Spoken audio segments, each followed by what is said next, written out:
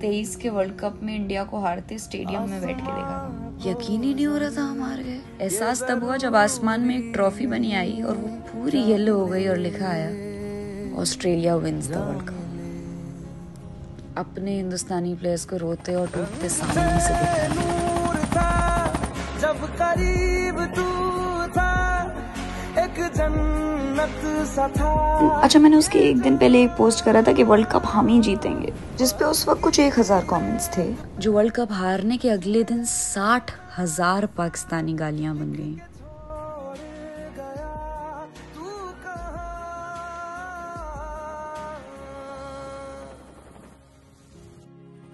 रंग थे।